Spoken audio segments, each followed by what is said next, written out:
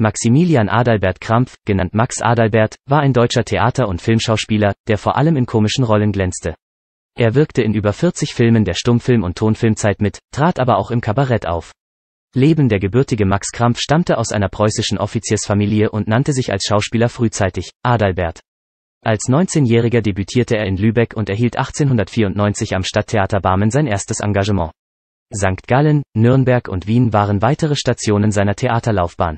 Er übernahm zunächst typische Liebhaberrollen, war in Stücken von Tolstoi und Schnitzler erfolgreich. Der Journalist Kurt Pintus schrieb anlässlich eines Gastspiels in Wien in der Bühne über den Schauspieler, er sei der verknautschte spießig-philiströse Kleinbürger der Großstädte.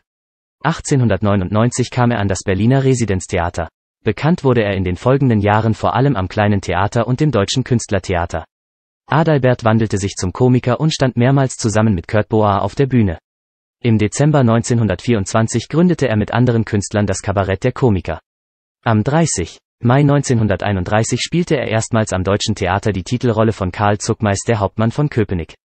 Durch ihn, dem diese Rolle wie auf den Leib geschneidert war, wurde das Stück ein großer Bühnenerfolg. Im Stummfilm erhielt Max Adalbert seit 1915 einige Nebenrollen. So wirkte er in den Fritz-Lang-Filmen Der müde Tod und Dr. Mabuse, der Spieler mit. Seine Bedeutung für den Film änderte sich schlagartig mit der Einführung des Tonfilms, wo er sein Berliner Mundwerk voll zur Geltung bringen konnte. 1931 glänzte er nun auch im Film in seiner Paraderolle als der Hauptmann von Köpenick. Max Adalbert starb während einer Gastspielreise in München an den Folgen einer Lungenentzündung. Er wurde am 18. September 1933 auf dem Südwestkirchhof Stahnsdorf beigesetzt.